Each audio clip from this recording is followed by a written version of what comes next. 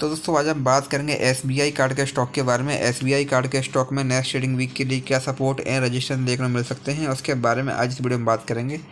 हम यहाँ पर स्टॉक के ट्रेंड की बात करें तो देखेंगे जो स्टॉक है, ये हमको अप्रैल से यहाँ पर लगातार अप ट्रेंड में देखने मिल रहा था। हमको स्टॉक में हायर हाई वाला पैटर्न यहाँ पर देखने मिल रहा था। फिर हमको यहाँ पर स्टॉक में एक रजिस्ट्रेंस यहाँ पर दिखाई दिया, इसके बाद हमको स्टॉक में यहाँ पर लगातार गिरावट देखने मिली। अभी जो स्टॉक है, अभी यहाँ पर स्टॉक अगेन यहाँ पर रिकवर करने की कोशिश कर रहा है। आज हमको यहाँ पे स्टॉक में zero point six zero percent की यहाँ पे आगे यहाँ पे गिरावट देखने को है। यहाँ से हम स्टॉक में बात करें। यहाँ से अगर स्टॉक एट एटी नाइन का जो लेवल है, इसको यहाँ ब्रेक करता है देन इसके ऊपर हमको यहाँ पे स्टॉक में एक अच्छी तेज़ी, एक अच्छी बैंक यहाँ पर देखने को मिल सकती है।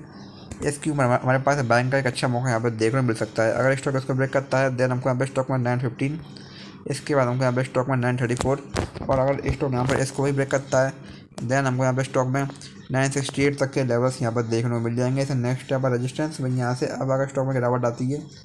तो भाई यहाँ से गिरावट की कंडीशन में हमारे पास यहाँ पर स्टॉक में एट सिक्सटी वन का पहला यहाँ पर सपोर्ट देखने को मिल जाएगा। अगर स्टॉक इसको ब्रेक करता है देन हमको यहाँ पर स्टॉक में एट ट्वेंटी नाइन तक के लेवल्स यहाँ पर देखने को मिल जाएँगे। ऐसे नेक्स्ट पर सपोर्ट तो स्टॉक में कुछ important support and resistance level है, आप इन पर ध्यान दे सकते हैं।